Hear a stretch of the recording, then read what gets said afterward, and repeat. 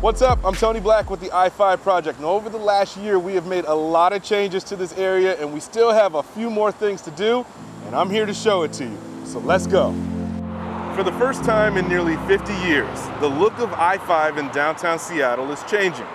A new flyover ramp connecting State Route 520 directly to the express lanes.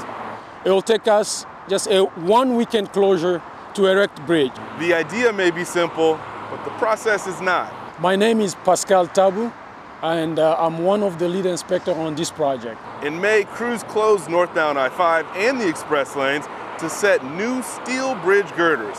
Think of them as a support structure for the new ramp.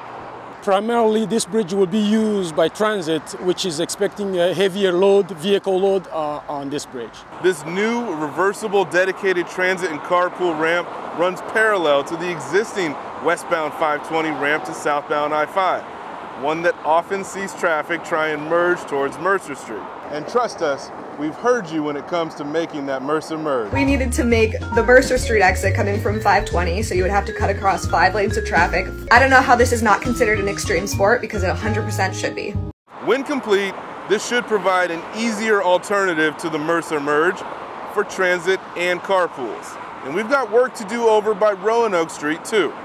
Last summer, over the span of 55 days, we started work on a new retaining wall. And soon we'll close that ramp again, this time for 18 days. What we're doing is pushing the existing alignment to the north. That's so we can create space for the new ramp. This, along with the 25 new or redone retaining walls, makes this $68 million project significant in its efforts to reshape this part of I-5. Now there's one more element about this project and it's happening on Mercer Street. And we'll talk about that one next time.